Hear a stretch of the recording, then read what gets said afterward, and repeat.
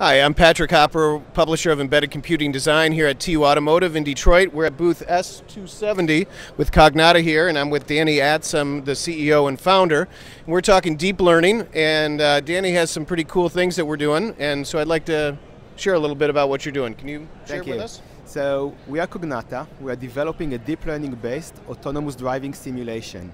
It comes to solve the problem of the fact that you need to drive 11 billion miles in order for an autonomous driving system to be comparable to human driving, which means 1.09 fatality per 100 million miles.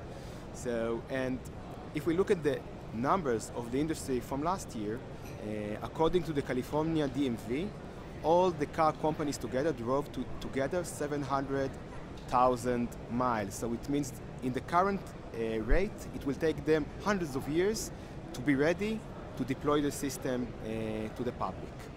So in Cognata, we have like a three layered solution. First of all, we build the static uh, layer, which is a 3D city. We build it with the buildings, uh, with the, the trees, with all the lanes. Uh, so it's actually based on a real city map.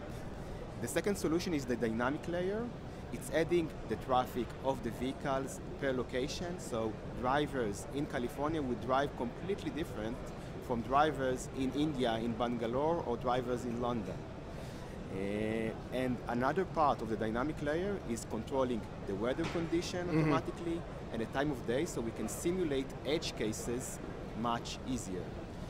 The third layer is the one that connects us with the actual OEMs is the sensing layers. You know that an autonomous car has more than 40 sensors, fitting about, about 10 cameras, 5 radars, 4 LiDAR, 6 signal ultrasonic sensors, GPS, gyroscope, accelerometer, all this variety. And we would like to simulate it very close to reality with all the errors. We're adding that all together, and this is our solution, and we run it in our cloud platform. The unique stuff with the cloud platform is that we can run in parallel a lot of instances of our system. One car drives from uh, California to Los Angeles, the other one's in New York, the other one in Tel Aviv.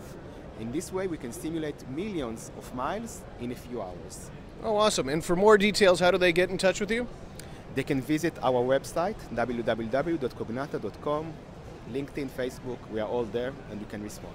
And of course, you can see him at TU Automotive Detroit going on this week in Novi.